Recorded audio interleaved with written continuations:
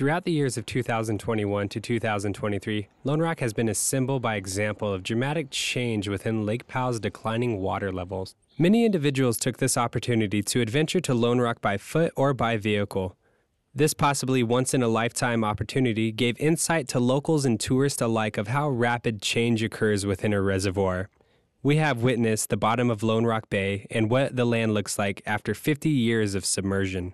A remarkable snowpack in the Colorado Rockies and other ranges have propelled Lake Powell 63 feet. As of July 8, 2023, inflows into Lake Powell have gradually slowed to what is called a base flow period, which marks the end of the 2023 spring runoff. As water year 2023 has finally plateaued, I am able to present you today the phenomenal transformation of Lone Rock and its bay.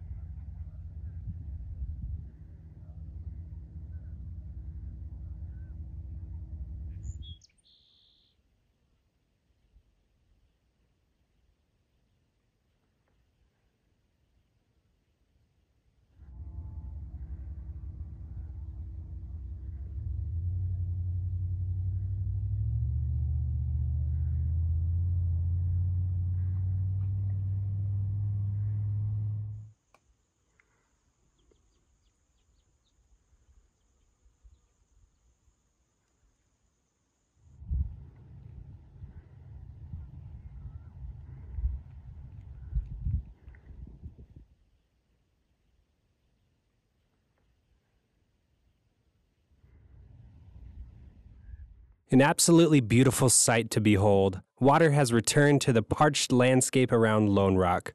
Only another season will tell us if this view will last. Thank you for watching. Feel free to like and subscribe for more updates.